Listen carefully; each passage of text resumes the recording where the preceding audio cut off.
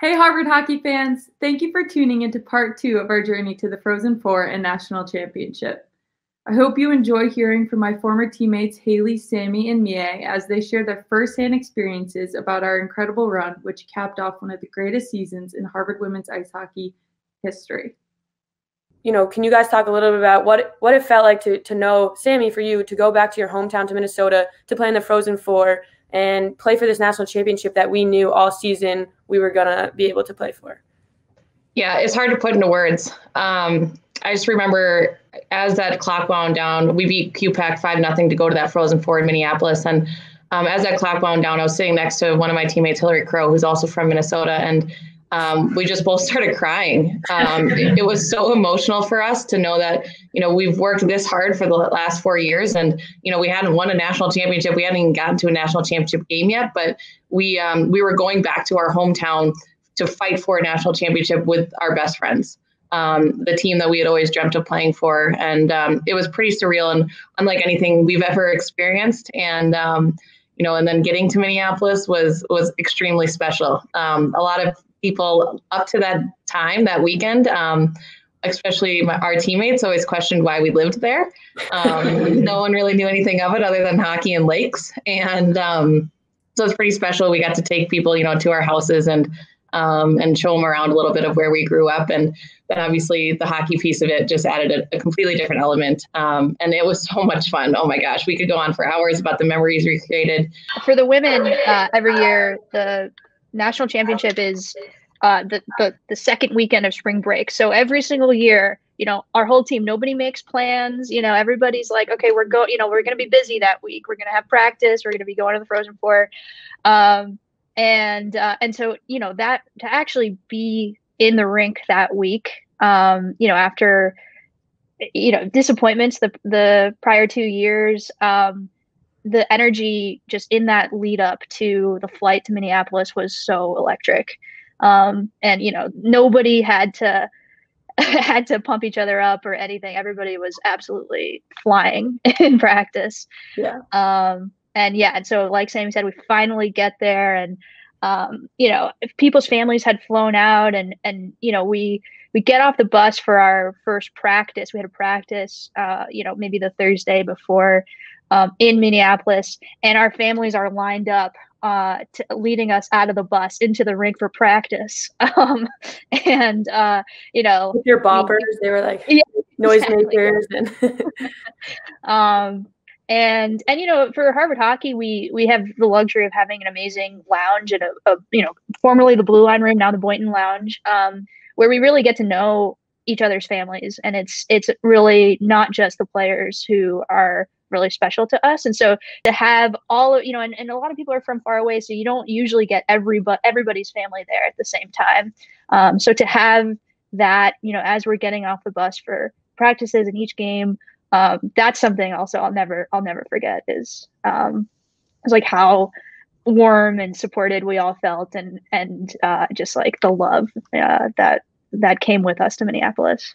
Yeah. So I think we get to the Frozen Four and we know we're about to play BC in the semifinals of the national championship um, weekend. So that for us was a huge, you know, we at this point we're one and one now. We had a championship, they blew us out. Kind of what what mindset did we all have going into that game and sort of how did that game play out in your guys' opinion?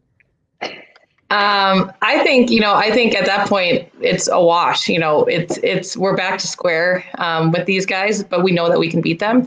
Um, and now more than ever, it means a lot. Um, winner goes on to the national championship game, and oh my gosh, like who? What? Like to me, his point earlier, like we had gotten so close so many times to even get to the Frozen Four, but now that we're there, okay, let's let's not just like throw it all away now. Let's beat BC because we know we can, and then go and play either Minnesota or Wisconsin. And um, that was our mentality. And um, I have to give a shout out to our goalie Emerance Maschmeyer. Um, she absolutely stood on her head against that game. BC gave us everything they possibly had. Um, I think they were shooting from the red line.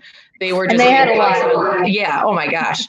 They were. I mean, some of the best goal scorers in the country were on that team. Um, I think they were getting, you know, 90% of their shots and Emerance stood on her head and, you know, we battled in front of her, of course, and were able to get, um, you know, enough goals to pull ahead. But um, I think you, you have to acknowledge Em and her performance in that game. Absolutely. Yeah. So just to another shout out to Emerance. Um, she had 43 shots that game and let in one goal. And um, so I think the, you know, looking at how different our shots were um, against BC, Emerance truly pulled that game out for us. Um, and we just all kind of were like inspired by her play. And um, I think that also helped us like lead into the national championship game because we wanted to play for Emerance now. Like she had played for us that game. Yeah. I saw the way Emerance was playing. Uh, we haven't talked much about Emerance up until this point, but it, she's an absolutely incredible hockey player. Hopefully, uh, you know, soon to be a Canadian Olympian. And, um, you know, the whole season she was our backbone. Um, and the season before we leaned on her a little bit maybe too much uh, and so you know the 2015 season we had a lot a lot of firepower in front of her but she was so reliable and that game in particular you know i i would i would say you know she she stole it really um and uh and so you know i just i i even from the stands i knew we were going to win uh so headed into into the championship game with minnesota um, we were all pretty pretty pumped up. So, anyways, it was a hard fought battle against BC, and we were and we ended up beating them. Um, and it was an incredible feeling, um, a feel a feeling of relief. Um, Miye, I know, uh, had a little bit of a a different story. Um, unfortunately, a penalty took her out of that game early, and so we fought for her as well and um, we ended up winning and gave her another chance to fight with us for that national championship game. Um, we come flying into the the ch- national championship game. We're playing University of Minnesota at the University of Minnesota. It's a sold out crowd. I think for me that was the most um, memorable part of that game was just the crowd. You know, um, up until that point, we'd never had a, a, a sold out crowd. Never mind standing room only, and um, on top of that, just the Minnesota crazy fans there, they're so into hockey that it made the environment so much fun. I remember specifically like when we would have a good play, the crowd would be like, ooh, ah. And so there was even energy for when we were playing well. And I remember that being um, the, the most memorable part of this game. But for you guys, what was the most memorable part? And um, if you want to walk through a little bit about how that game went. Whew. Um, well, I mean, I think the starting lineup was probably the, I, I just see it super clearly because it was the only moment before the puck drops where you can actually just kind of like take it in and appreciate uh, all of the energy that's in the in the building um, and take a second and just acknowledge how cool this is uh, before you know the puck drops and and you're in it and like there's no there's no thinking about it anymore. Um, but i just remember you know the lights are off the Minnesota fans have like all this, all these like cheers going on. They they're all coordinated. They know what they're doing. They've done this before. Um, you know, Sami probably grew up going to Ridder, but it was my first time seeing a Minnesota game. So honestly, I was I was kind of I was kind of impressed. Um, but uh, you know, I think you know once the puck dropped, it was um, it was just it was just awesome to play. You know, two awesome teams uh, playing their last game of the season. Um, it, it's I've never uh, in in college. I, I obviously never had that opportunity before um, to know that this was my last game uh, of the season, and this was the last game I was going to play with the people uh, who were standing next to me on that goal line um, during the starting lineup, and um, you know, it was just you know, obviously it wasn't the result we wanted, but it was um, you know a, a, memory that i just i'm so grateful to have and uh, and especially you know to have with you two and uh, and, and all of our teammates um, we'll always get to think back and like talk about it and reminisce um, uh, hopefully not think about too many what ifs but uh, or if onlys rather but um, but yeah i mean it was it was an incredible experience needless to say yeah, I mean, I already kind of touched on you know the experience of it, but um, yeah, of course, the outcome wasn't what we wanted, um, but you really can't dwell on that. Um, to play for a national championship is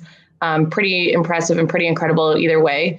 um, you know, Minnesota, we talked about BC a lot, but Minnesota was just as good. Um, I mean, just so deep, every single line.